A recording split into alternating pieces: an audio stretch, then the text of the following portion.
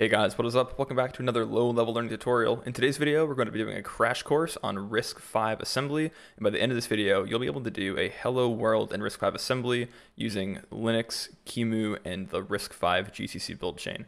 So first, the question is, what is RISC-V? So RISC-V is an open standards instruction set based around the RISC or reduced instruction set computer principles. The idea being that the creators of RISC at Berkeley wanted to make an open source instruction set that anyone could use to create chips without royalties. This is in comparison to the companies ARM and Intel that make the ARM and x86 chipsets, who charge royalties for other companies to produce chips using their intellectual property.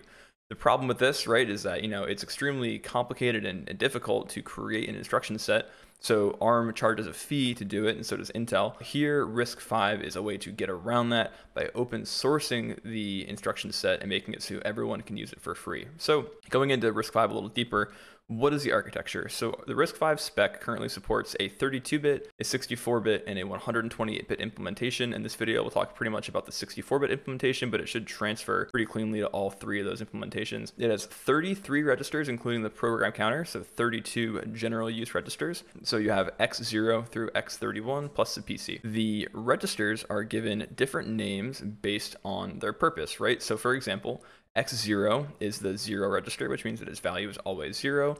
X1 is the return address register, and so on. And you can interchange these. And when you're writing assembly, you can write X0 in place of zero, you can write RA in place of X1, etc. So you have six special purpose registers. You have like your stack pointer, your frame pointer, your PC, your return address, etc. Those are called the special purpose registers. Next, you have the temporary registers. So those are thought to be volatile, right? So when you put data into those registers, if you call a separate function, it's thought that the data will not persist across that function call. Um, the other 12 are S0 through S11. Those are called the saved registers. Those are thought to be non-volatile. So when you write function calls, it's expected that data that you put into register S0, for example, will still be there when the function returns. And then finally, uh, we have eight argument registers. So we can actually pass eight arguments in registers to functions using the calling convention where you put the data into A0 through A7. So what does an instruction in RISC-V or RISC-V assembly look like? So it looks pretty much like the ARM instruction set in that you have your operation, your destination register, your source one and your source two, or in the case of load address, you have your operation, your destination, and then either your constant or your relative label. So talking about the add immediate instruction, uh, what it turns into is add immediate A2X064. What that turns into in pseudocode is that it sets the A2 register equal to the zero register plus 64. So it ends up being A2 equals 64.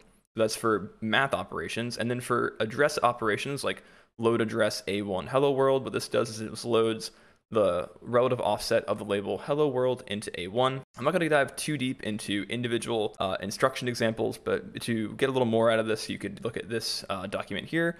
This is the path to the RISC-V spec uh, written by UC Berkeley. Okay, so we can do instructions that move data in and out of registers, right? But who cares? So what we need to do is ask the kernel for help to do anything meaningful. Um, to ask the kernel for help, we have to abide by the convention set forth in the Linux syscall table, and that defines how we interact with the kernel, right? How we ask it to do things for us. It specifies the functions we can call, the, the syscall numbers to do things, the arguments required to do those things, etc. Normally, I use the syscall tables provided by the Google Chrome developers, and they've kind of laid out every instruction in a, in a really pretty looking table. Um, RISC-V is pretty cutting edge, so I haven't been able to find that in a document similar to my other tutorials. However, this document here lays out the Unix standard implementation of the syscall table by Western Digital, who I think has migrated some of their hardware to uh, the RISC-V spec. So for the purposes of this tutorial, all you need to know is that the exit syscall is syscall 93 and the write syscall is syscall 64. How do we implement a syscall, right? How do we ask the kernel to do something for us? Well, what we do is we have to set up a few arguments in the argument registers, right? So A0 through A7, and then we run the eCall instruction. So we'll set A7 to the syscall number, and then once the syscall number that we're trying to invoke, so either, like I said before, 93 or 64 for exit or write, we'll then set A0 to the arguments for that syscall. And then finally, once all the arguments are set up, we'll call the eCall instruction, and that will call the kernel and say, hey, kernel, given these arguments, do something. And then because I don't have a RISC chip right in front of me, uh, QEMU or QEMU has implemented the RISC-V spec in an emulator that we can use for testing. So we'll do that in some code starting right now. But before we get there, I do want to thank the Patreon squad for helping me out. We got three new diamond level Bitwizard contributors. Uh, we got Aaron B, Simone D, and Ben D. Guys, really appreciate your support. Keeps the channel moving. So thanks for your help. Uh, moving on, we're going to get into the VM and write our hello world starting right now. Let's get into it. So like I said before, here we have the syscall table that Western Digital has for us uh, on the RISC-V spec. It's in their RISC-V Linux distro here on GitHub. I'll put the link in the description box of this video. We can control F for double underscore NR write. That gives us 64. That is a syscall number that has to go into A7 to do a write. And then we have to go and look for exit. So let's look for exit. It's 93. Okay, cool. So let's talk a little bit about our build environment here. Step one, I had to sudo apt install the GCC RISC v64 Linux GNU toolchain. Once you have that installed, it should give you all the tools, like if you type RISC64 Linux GNU, it should auto tab out to having the assembler here and the GCC compiler here. So once you have those things all figured out, we'll go over to our dev environment here. Delete the answer key.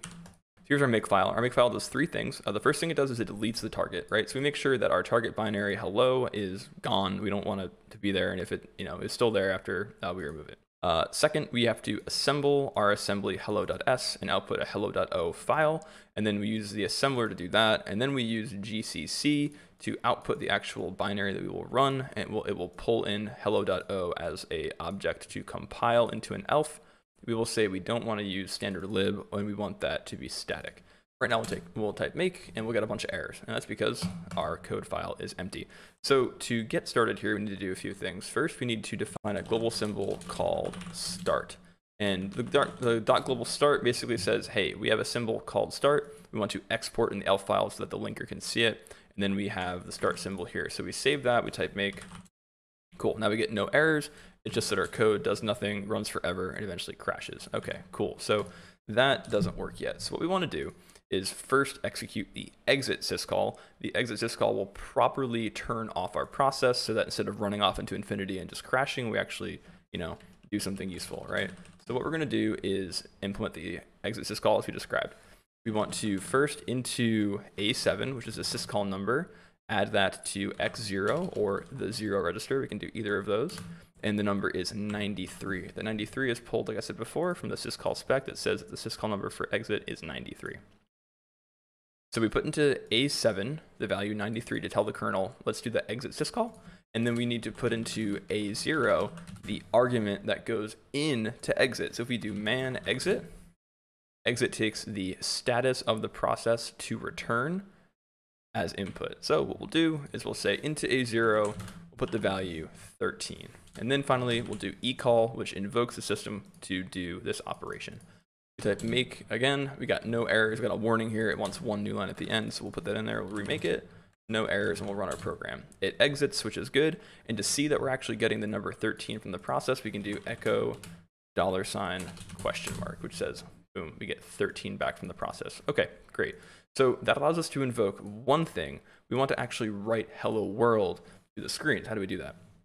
we need to invoke the write syscall. So if we do man to write, we have to do a few things. We have to say the file descriptor we want to write to, the buffer we want to write, and the number of bytes that we want to write. So in, in Linux, the file descriptor for the write operation that tells us to go to the output of the screen is standard out. So that's going to be one. So as a comment here, I'm going to put standard out file descriptor equals one. So set this up. We need to set up the same thing as before, the syscall number in A7 to be 64. Once we have that, we are going to put the file descriptor number that we want to actually write to, and again, man to write tells us that's the first argument here, into A0. So into A0 goes the number 1 for standard out.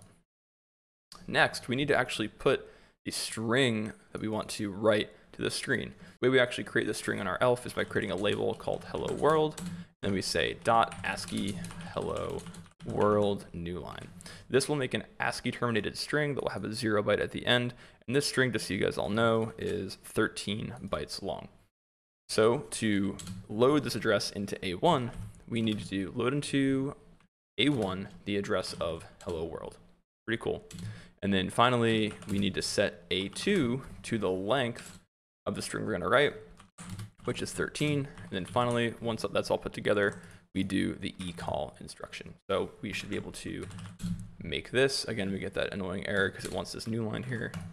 Make it again, and then run the string, and then run the program. Um, if you guys can't just run it like that, you can do QEMU riscv64 dot slash hello and get hello world onto the screen. Guys, I hope you enjoyed that. I hope you learned something. Getting a new architecture to run a Hello World is pretty easy. As long as you have access to the spec and know what the syscall interface is, you actually can make code do what you want it to do pretty fast. So if you like the video, do me a favor, hit like subscribe, and I'll see you guys in the next iteration of the RISC-V tutorials. Take care.